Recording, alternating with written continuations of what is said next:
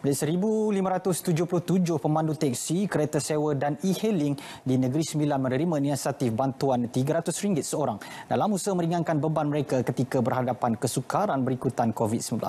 Inisiatif tersebut melibatkan bantuan RM473,100 yang mula diagihkan hari ini menerusi akaun penerima yang berdaftar dengan agensi pengangkutan awam darat APAT. Jumlah pemandu yang diterima oleh kerajaan negeri daripada Persatuan Pemandu Teksi dan Syarikat E-Hailing adalah seramai 2,201 orang.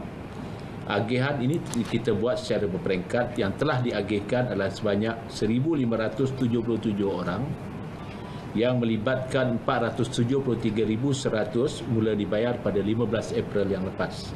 Ini, ya, ini. terus uh, inilah ya. ini.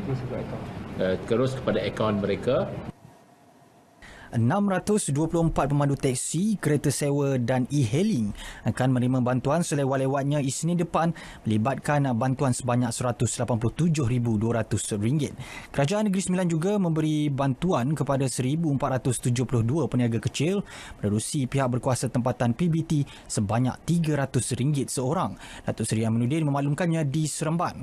Kerajaan Negeri Sembilan juga bersetuju memberi bantuan khas kewangan BKK sebanyak 6.4 juta ringgit ringgit kepada 6,459 anggota Perkhidmatan Awam Negeri Sembilan, pihak berkuasa tempatan dan Badan Berkanun Negeri Sembilan yang melibatkan bantuan khas sebanyak RM1,000 kepada anggota Perkhidmatan Awam Negeri, pihak berkuasa tempatan dan Badan Berkanun Negeri Sembilan serta RM500 kepada pesara dalam tempoh 1 Januari 2020 sehingga 23 April 2020. Bayaran bantuan khas ini akan dibuat pada 8 Mei depan.